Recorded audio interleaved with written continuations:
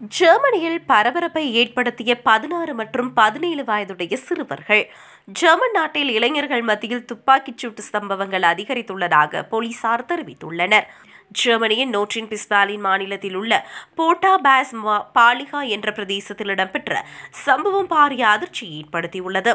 இரண்டு பதினாறு மற்றும் பதினேழு வயதுடைய சிறுவர்கள் பத்தொன்பது வயதுடைய இளைஞர் மீது துப்பாக்கி சூடு சம்பவத்தை நடத்தியதாக தெரிய வருகிறது இந்த துப்பாக்கிச் சூட்டு சம்பவத்தில் காயமடைந்த இளைஞரை மருத்துவமனைக்கு எடுத்துச் சென்று வைத்திய உதவிகள் வழங்கப்பட்டதாக தெரிவிக்கப்படுகிறது. இந்த நிலையில் இந்த துப்பாக்கிச் சூட்டு சம்பவத்தில் ஈடுபட்டதாக கணிக்கப்படுகின்ற இந்த பதினாறு மற்றும் பதினேழு வயதுடைய இளைஞர்களை போலீசார் கைது செய்துள்ளதாக குறிப்பிடப்படுகிறது. மேலும் இந்த இரு இளைஞர்களிடம் எவ்வாறு துப்பாக்கி கிடைத்தது என்றும் பத்தொன்பது வயதுடைய இளைஞரை ஏன் சுட்டார்கள் என்றும் போலீசார் விசாரணை மேற்கொண்டு வருகின்றனர். மேலும் குறித்த பிரதேசத்தில் சில மணித்தியாலங்கள் பொதுமக்கள் நடமாடுவது தடை செய்யப்பட்டிருந்தது.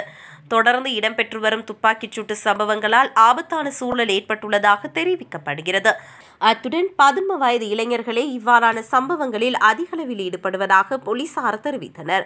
மேலும் துப்பாக்கி கலாச்சாரத்தை அடியோடி முடிவுக்கு கொண்டு வருவதற்கு போலீசார் தீவிர முயற்சிகளை மேற்கொண்டு வருவதாக குறிப்பிட்டுள்ளனர்.